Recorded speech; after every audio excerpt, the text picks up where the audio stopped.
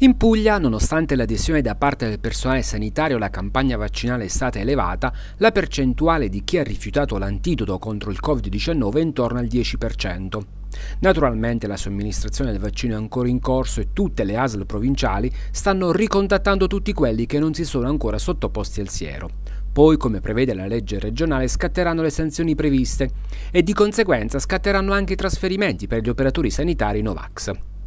A febbraio, infatti, il Consiglio regionale pugliese ha approvato una norma che inibisce l'accesso ai reparti degli istituti di cura agli operatori che non siano stati vaccinati contro il Covid. Ad oggi nessun operatore Novax è stato trasferito, anche perché la fase 1 della campagna vaccinale non è ancora conclusa e come detto i non vaccinati sono stati richiamati per essere sottoposti al siero anti-Covid. Comunque, anche se la norma regionale che prevede il loro trasferimento non sia stata ancora promulgata, il Dipartimento Salute ha inviato una circolare alle aziende sanitarie invitando i manager a trasferire temporaneamente gli operatori non vaccinati dai reparti ospedalieri dove vengono gestiti casi Covid o sospetti. Tutta la Puglia è in zona rossa, da questa mattina restrizioni più rigide almeno per le prossime due settimane. Con le nostre telecamere siamo stati in giro per la città di Foggia per ascoltare con quale stato d'animo è stata presa la decisione del governo. Lei è d'accordo sulla zona rossa? In linea di massima sì, diciamo di sì, eh, se c'è una motivazione strettamente correlata alla salute pubblica, però mi sembra che in definitiva non cambia molto dal punto di vista pratico. Vede tanta gente in giro? Beh, un po' di meno la vedo, però insomma tutto sommato alla fine le attività mi sembrano che sono sempre le stesse, le macchine più o meno a quest'ora sono queste. Rispetto ad un anno fa com'è la situazione secondo lei? Identica. Secondo me il virus deve fare il suo decorso naturale, come dimostra la storia. Eh, non è che noi potremmo decidere noi se essere d'accordo o meno, non abbiamo questa facoltà penso. Però personalmente se serve realmente a qualcosa sono d'accordo. Un po' di paura rispetto all'anno scorso? No, io no, di meno. La prima volta è stato più è stato diverso in pratica. Avevamo molta più paura. Su alcuni aspetti sì, ha fatto molto bene, ha fatto, perché comunque ci stava tanta libertà per tutti e la punta di, di, si sta alzando. Eh, sperando che questa settimana la faccia calare con questo blocco. Ha fatto bene il governo a chiudere? La verità no. Eh, molti settori piangono per dirla, insomma, non è, non è possibile, voglio dire. Il piano vaccinale sta andando avanti, i pro e i contro si sentono, si leggono, si vedono, non so, però molti, molti commercianti ne risentono giustamente non è soltanto la ristorazione, eh? tutti i settori. Eh. Rispetto allo scorso anno c'è più paura? Ma lo scorso anno era una cosa piovuta dal cielo, non sapevamo nemmeno che era pandemia, insomma, parliamoci chiaro.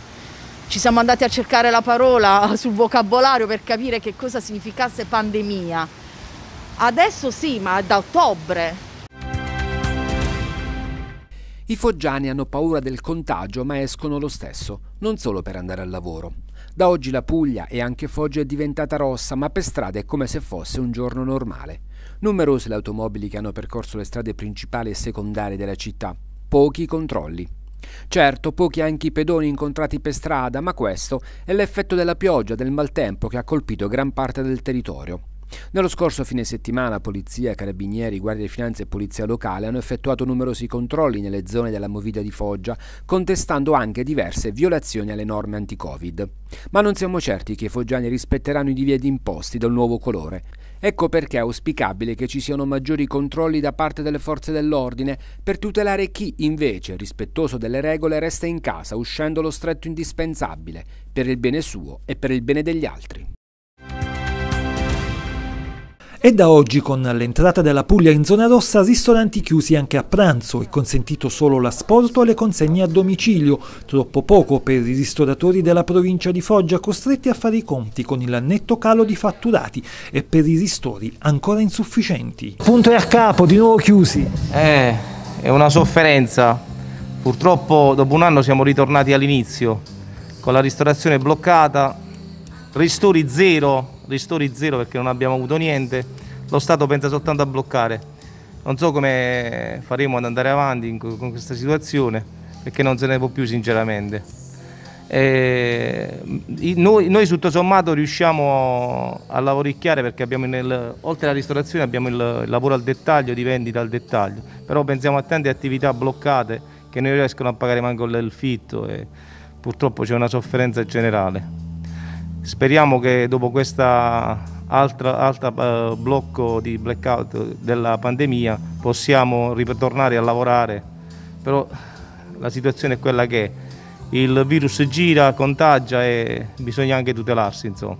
Noi come tutti i giorni facciamo sia vendita di carne che ristorazione facendo carne alla brace e contorni. Come, come potete vedere anche stamattina abbiamo preparato dei contorni e cucinato, ma purtroppo con l'attività bloccata di ristorazione molta di questa roba sperando che possa funzionare da sport perché noi lavoriamo anche da sport però Adesso la gente è entrata in panico, sinceramente, penso che già da ieri sera si è visto che non è uscito nessuno, perché ieri e domenica siamo stati aperti, perché noi la sera facciamo panini con carne alla brace e tutto il resto. Purtroppo il panico è tantissimo. Eh... Nel primo giorno da Regione Rossa continua ad aggravarsi la situazione epidemiologica in Puglia e nel resto d'Italia. A preoccupare il più 100 nella casella delle terapie intensive, a cui si aggiungono i 365 ricoverati in più negli altri reparti Covid. Sale al 34% la soglia di posti letto occupati a fronte di quelli disponibili, ovvero il 4% oltre la soglia critica.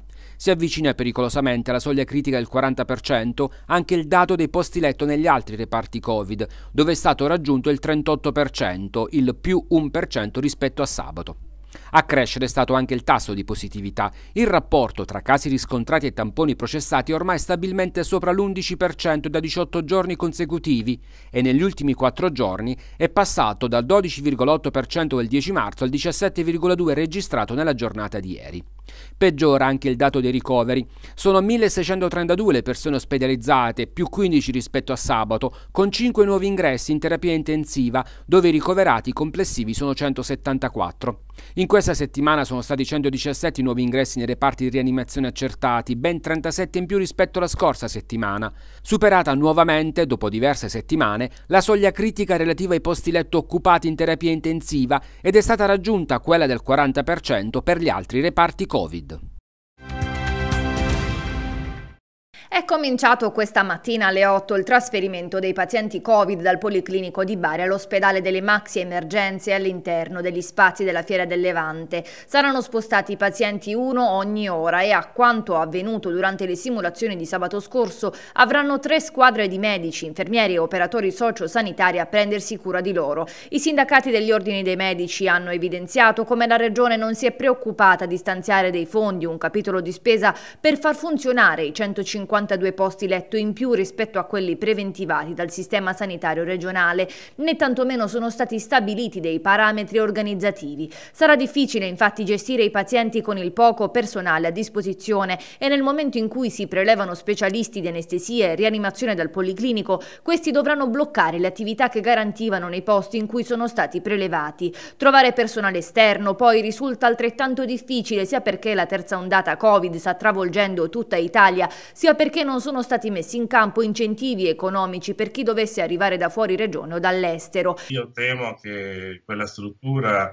andrà eh, eh, sempre più incrementandosi di posti letto di intensiva e tenga conto che il parametro per esempio di 12 anestesisti rianimatori per 14 posti letto cioè noi lo utilizziamo in genere come parametro di minimo per far funzionare Uh, un, un, un, modulo da 8 posti letto. Uh, si parte da presupposto sbagliato da parte di chi l'ha detto, soprattutto in regione e tra l'altro che ricopre incarichi importanti. Uh, si tratta di confondere, di pensare che l'anestesista rianimatore stia fermo davanti a un monitor. Il timore degli anestesisti è la mancanza di assistenza minima nei confronti dei pazienti. Il mio vero timore riguarda la sicurezza eh, degli utenti, di chi andrà lì e, di, e di, degli opera, dei medici specialisti e degli infermieri, quindi degli, degli OS che sono personale essenziale, che andranno a lavorare lì, a lavorare lì se non saranno rispettati e dubito fortemente che eh, riescano a, a, rispettare quei parametri che abbiamo concordato, che sono, ripeto, livelli essenziali di sicurezza. È evidente che lavoreremo tutti quanti al di sotto di un livello di sicurezza sanitario e queste, questa cosa può portare a conseguenze anche molto serie di cui non possiamo essere ritenuti responsabili noi, ma chi organizza o ha organizzato o non ha organizzato bene. Da non sottovalutare in ultimo la necessità eventuale di trasferire i pazienti dall'ospedale Covid al policlinico e viceversa per eventuali esami di approfondimento diagnostico. I pazienti possono aver bisogno di diciamo, delle particolari prestazioni sanitarie che non, lì all'ospedale in Fiera non possono essere fatte. E si immagina il trasporto inverso se hanno bisogno di questo fino al policlinico e poi il ritorno in quella struttura, per esempio. Condanne a sei anni e a un anno e otto mesi di reclusione per due delle cinque persone ritenute a vario titolo responsabili dell'assalto al postamat di Piazza Duomo a Cerignola del 3 agosto del 2019. Lo ha deciso il Tribunale di Foggia al termine del processo che si è svolto con il rito abbreviato, che ha condannato Filippo Gioluca Giordano di 29 anni e 6 anni per reati di tentato furto aggravato e porto abusivo di armi e Angelo Pio da Luiso di 33 anni a un anno e 8 mesi di reclusione per favoreggiamento personale in concorso. Il 3 agosto del 2019 quattro persone misero a segno un assalto con la tecnica della marmotta allo sportello ATM dell'ufficio postale centrale. La detonazione distrusse completamente lo sportello Postamat, scaraventandone i detriti a diverse decine di metri di distanza. Dopo pochi minuti i quattro si dileguarono senza riuscire però ad asportare il denaro, facendo perdere le proprie tracce. Nel corso delle indagini i carabinieri avevano individuato il garage nel centro di Cerignola dove si erano andati a rifugiare i quattro subito dopo il fallito assalto, garage di pertinenza dell'abitazione di uno degli imputati, Filippo Gianluca Giordano. L'altro imputato, sempre secondo l'accusa, avrebbe favorito Giordano e i suoi tre complici facendo sparire poco dopo l'assalto diverse tracce del reato, spostandole dal garage dove i quattro avevano trovato riparo subito dopo essere fuggiti da Piazza Duomo. A Manfredonia l'emergenza sanitaria ha fatto ulteriormente aumentare la crisi economica, chiudono i negozi e tante altre attività commerciali rischiano di non riaprire più. L'associazione Manfredonia Nuova ha scritto ai commissari straordinari chiedendo di ridurre la Tari. Il riferimento non è solo ai primi mesi del 2021 ma tutto il 2020 quando molte attività commerciali sono state chiuse per diversi mesi subendo danni irreparabili. L'associazione chiede un forte intervento della Commissione per la riapertura dei termini per includere concludere tutto il 2020 in merito al riconoscimento dei costi sostenuti per far fronte all'emergenza. Manfredonia Nuova chiede anche una forma di sostegno e di vicinanza alle imprese che sono state duramente colpite dal punto di vista economico durante la chiusura imposta dal lockdown. La Tari, secondo il sodalizio manfredoniano, dovrà essere calcolata tenendo conto della particolarità delle condizioni determinate dal Covid sulle attività produttive.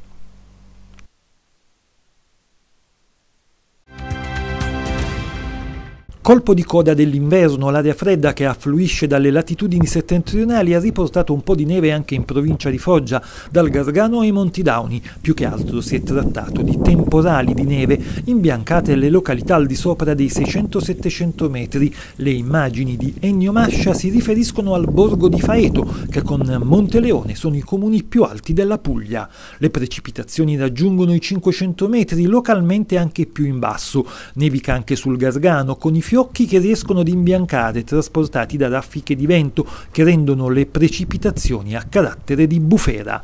Pioggia, vento e freddo sul resto della capitanata, con mare in busasca e raffiche di maestrale. L'ultima settimana dell'inverno 2021 sarà caratterizzata da una spiccata variabilità. Temporali, nevicate e vento forte si alterneranno a schiarite, ma con temperature sempre al di sotto della media del periodo, almeno fino a sabato prossimo prossimo.